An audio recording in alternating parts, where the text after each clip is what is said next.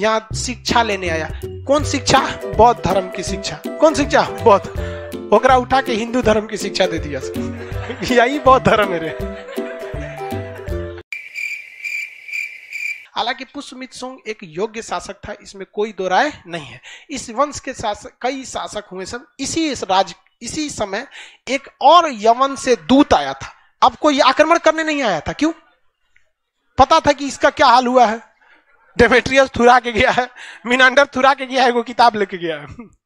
तो अब आया हेलियोडोटस कौन आया? हेलियोडोट हेलियोडोटस आया तो वो युद्ध करने नहीं आया, यहाँ शिक्षा लेने आया।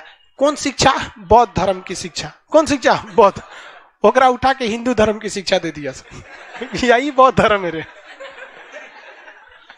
उसको भागवत धर्म की शिक्षा दे दिया। किस धर्म की? भागवत। विष्णु भगवान की मुख्य आराधना जो होती है, वो भागवत धर्म में होती है। तो विष्णु भगवान के ही अवतार थे, कृष्ण जी, विष्णु भगवान के थे, राम जी। तो भागवत धर्म की शिक्षा दे दिया। उसको लगा कि हम कौन सा धर्म ले रहे हैं? खूब मन से पढ़ रहा था। और जब पढ़ लिया भागवत धर्म तो कहा कि यही ठीक है। यही क्या है? ठीक है। बचपन से लेके जब तक मर नहीं जाता है, व्यक्ति को संस्कारों में बाँध दिया जाता है। कि अगर तुम अपनी माँ के गर्भ में हो तो वो भी एक संस्कार है पूजा पाठ है। जन्म लिया मुंडन से लेके, जनेऊ से लेके, शादी ब्याह से लेके, एक संस्कार में, जीवन को सोलह संस्कार में बाँध दिया गया। अब बाकी धर्म में ससुरा, हो गया काम खत्म, संस्कार बाढ़ने के लोग। तो उसने कहा कि, भाई साहब, देखो, यही धर्म को अपना लेते हैं। तो भागवत धर्म किसने अपना लिया? हेलियोडोटस। क्या हेलियोडोटस आक्रमण करने आया था?